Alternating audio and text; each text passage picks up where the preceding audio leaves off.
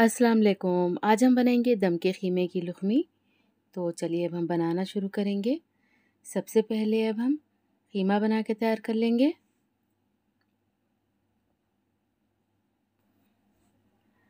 दम का खीमा बनाने के लिए सबसे पहले अब हम एक पैन को गरम कर लेंगे और इसमें ऐड करेंगे दो टीस्पून कुकिंग ऑयल और एक टीस्पून घी।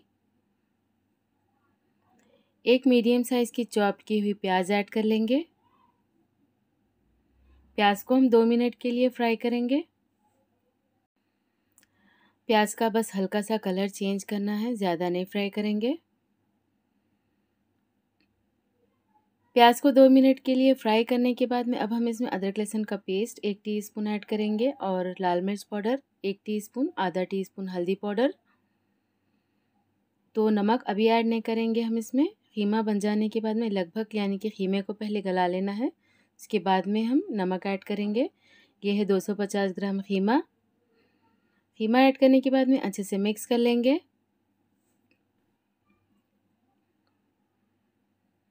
दो टेबल स्पून दही।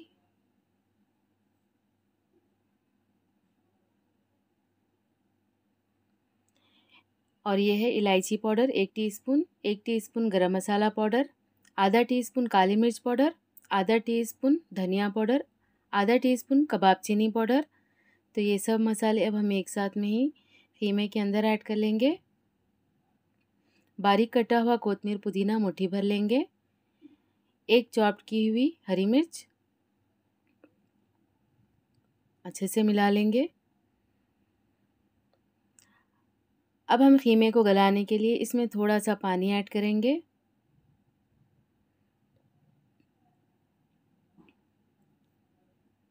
पानी ऐड करने के बाद में अब हम ढक्कन से कवर करके ये पकने के लिए रख देंगे लो हीट पे। हीमे में का जो भी पानी है, वो पूरा अच्छे से सूख जाना जब तक हम ये पका लेंगे।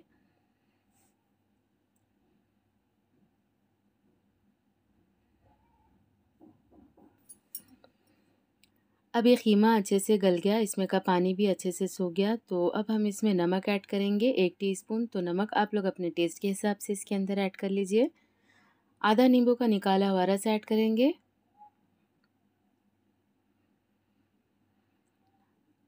दो मिनट के लिए पका लेंगे हम नींबू और नमक ऐड करने के बाद में।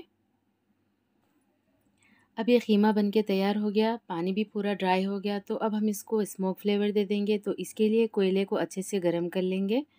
और कोयला जब अच्छे से गर्म हो जाएगा, हम इस तरह से कोयले के ऊपर थोड़ा सा घी ऐड करेंगे। घी ऐड करने के बाद में फौरी ढक्कन से कवर करके फ्लेम ऑफ़ करेंगे और कवर करने के बाद में इसको 10 से 15 मिनट के लिए ऐसे ही छोड़ देंगे ताकि इसके अंदर स्मोक फ्लेवर अच्छे से आ जाए।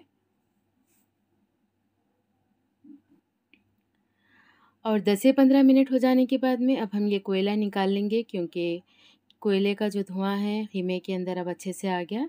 अब ये खीमा बिल्कुल रेडी है। बिल्कुल इस तरह से हमको ये खीमा अच्छे से सुखा कर पका लेना है। खीमा बन के तैयार हो जाने के बाद में अब हम लुखमी के लिए आटा गूंद लेंगे। ये है मैदा। मैदा लेंगे तीन कप।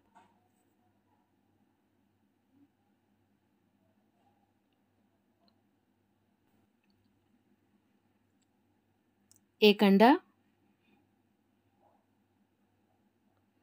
दो टेबलस्पून दही।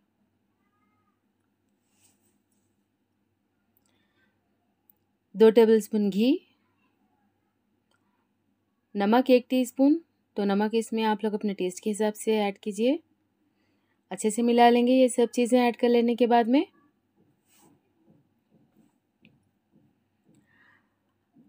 ये भिगाएँगे हम दूध से तो इसमें जाएगा लगभग 125 ml दूध।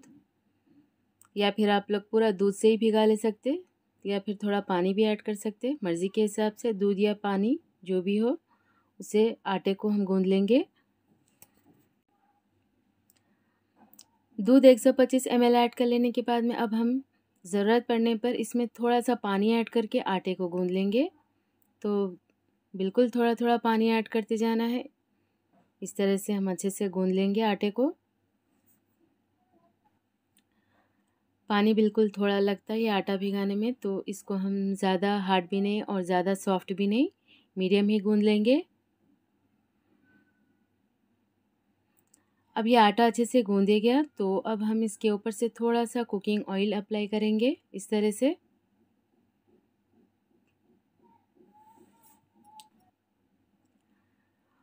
ऑयल अप्लाई करने के बाद में अब हम इसको ढक्कन से कवर करके रख देंगे लगभग 10 से 15 मिनट के लिए।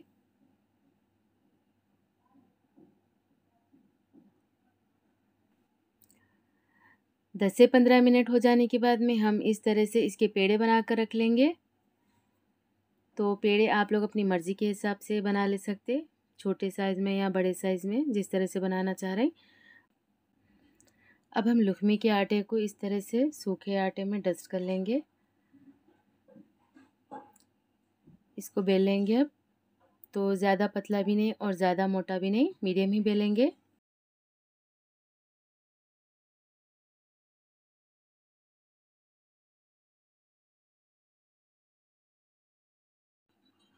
इस तरह से बेल लेना है? बेलने के बाद में अब हम पानी लगाएँगे। इस तरह से उंगली से लगाएँगे। चारों तरफ़ लगा देंगे पानी।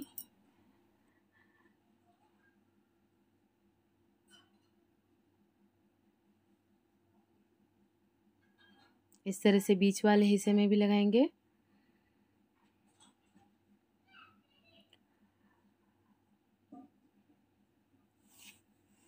अब हम खीमा रखेंगे इस तरह से।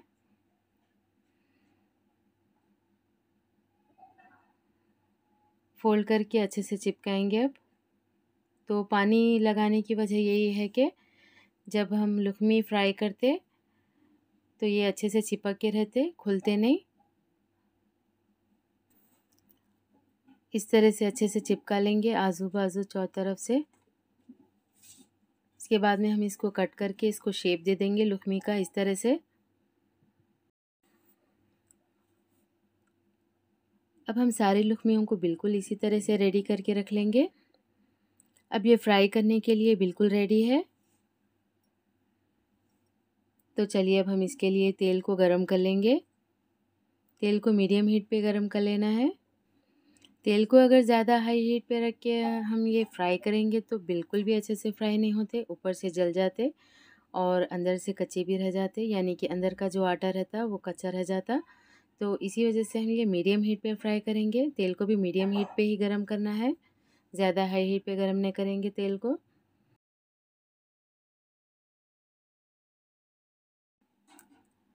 लुखमी का जैसे ही हल्का सा कलर चेंज होगा, हम इसकी साइड चेंज करेंगे इस तरह से।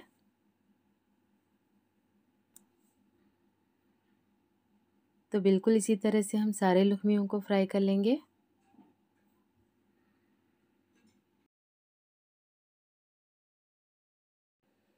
तो ये देखिए, अब ये दम के खीमे की लुक में बिल्कुल रेडी है।